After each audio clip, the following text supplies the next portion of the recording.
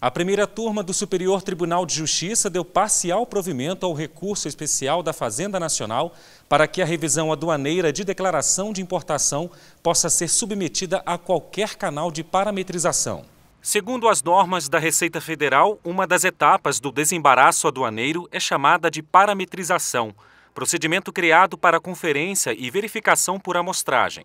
Os canais recebem nomes de cores que identificam o grau de exame feito para o desembaraço, desde o automático, verde, passando pelo documental, amarelo, pela verificação física da mercadoria, vermelho, até o procedimento especial de controle aduaneiro, o cinza, para verificar indícios de fraude. A Fazenda Nacional interpôs recurso especial contra acórdão do Tribunal Regional Federal da Quarta Região, que considerou possível a revisão aduaneira apenas na hipótese de mercadoria importada direcionada para o Canal Verde, uma vez que o sistema registra o desembaraço da mercadoria de forma automática, sem que a autoridade fiscal desenvolva qualquer procedimento de conferência dos documentos e das informações da declaração de importação, o que só acontece nos canais amarelo, vermelho e cinza. Em seu voto, o ministro Gurgel de Faria destacou que a legislação que rege a matéria não vincula o direito do fisco de proceder à revisão da regularidade do pagamento dos impostos